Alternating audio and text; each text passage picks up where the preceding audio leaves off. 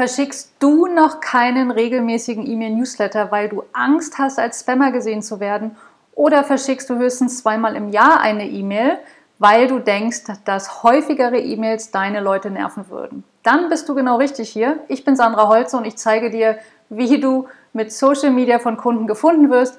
Und ich sage dir in diesem Kitchen Talk, dass du unbedingt ganz regelmäßig einen E-Mail-Newsletter verschicken solltest und wie du das schaffst, dass deine E-Mails nicht als Spam rüberkommen, sondern gern gelesen werden. Warum sollst du e-, regelmäßige E-Mails verschicken? Ganz einfach, du willst in Erinnerung bleiben, denn die meisten Leute sind nicht sofort bereit zu kaufen. Das heißt, wenn du eine Dienstleistung verkaufst, dann haben die Leute vielleicht gerade noch nicht das Budget oder gerade noch nicht den Bedarf, aber in einem halben Jahr sieht es ganz anders aus. Wenn du jetzt regelmäßig E-Mail-Newsletter verschickst, dann bleibst du in Kontakt, in Erinnerung und die Leute können kaufen oder buchen, wenn sie soweit sind. Das heißt, du baust langfristig wertvolle Beziehungen auf. Damit das funktioniert und deine E-Mails nicht nerven, mach den Freunde-Check. Und hier sind drei Tipps, wie du den Freunde-Check bestehst. Erstens, lerne deine E-Mail-Abonnenten richtig gut kennen.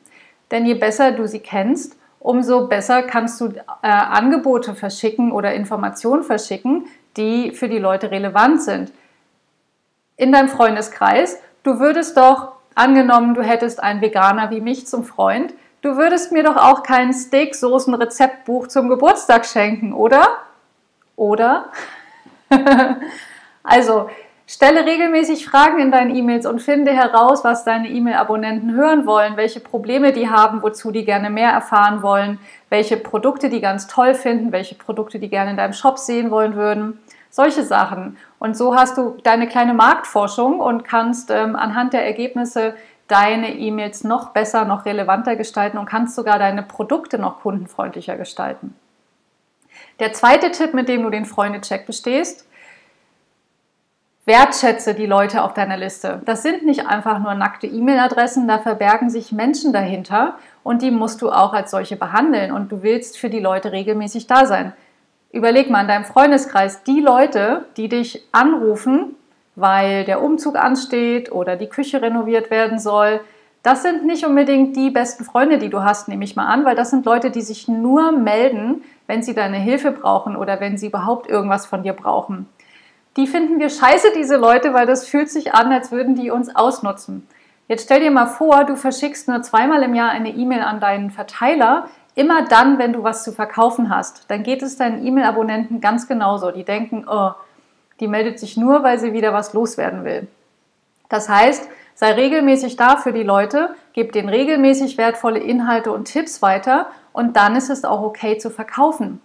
Ein Wort hier noch, ähm, wenn du einen Online-Shop besitzt, dann sieht das Ganze etwas anders aus, denn dann erwarten die Leute von dir regelmäßig Informationen, vielleicht auch Angebote zu deinen Produkten.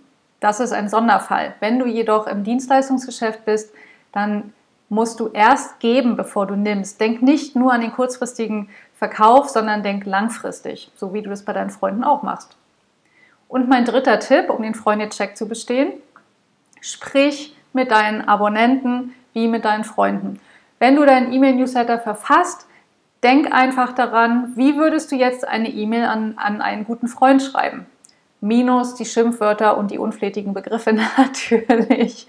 Das heißt, sei persönlich. Sprich die Leute persönlich in der Du- oder Sie-Form an, aber auf keinen Fall in der Mehrzahl. Da sitzt nicht eine Gruppe von Leuten an ihrem Laptop zusammen und liest deine E-Mail, da sitzt eine Person.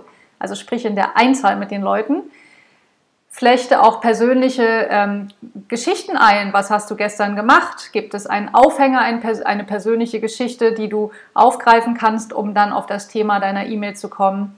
Oder kannst du ein Foto auch vielleicht von dir einfügen? Mach es persönlich, denn Geschichten werden besser erinnert und je persönlicher du bist in deiner E-Mail, umso eher können sich deine Leser mit dir identifizieren und können dich kennenlernen und lieben lernen. Also, wenn du diese drei Tipps befolgst, dann wirst du merken, werden deine E-Mails gern gelesen, weil deine Leser sich gewertschätzt fühlen, weil du ihnen weiterhilfst und tolle Sachen gibst, weil die dann auch warten auf deine Angebote und weil einfach eine langfristige Beziehung entstehen kann. Also, mach auch du den Freunde-Check, schau dir deine jetzigen E-Mails an, Würdest du so mit deinen Freunden reden? Und wenn nicht, dann befolge diese drei Tipps. Und jetzt möchte ich gerne noch von dir wissen, wie gehst du das Thema E-Mail-Schreiben an? Wie sorgst du dafür, dass deine E-Mails persönlich werden? Oder hast du vielleicht noch einen Tipp, den du teilen möchtest? Dann verrate mir den im Kommentar unter dem Video. Wenn du neu hier bist, dann melde dich für meinen YouTube-Kanal an oder abonniere meinen E-Mail-Newsletter, das Social Media einmal eins, in dem du wöchentlich von mir einen Tipp bekommst, wie du mit Social Media von Kunden gefunden wirst. Also frohes Schaffen und wir sehen uns im nächsten Video.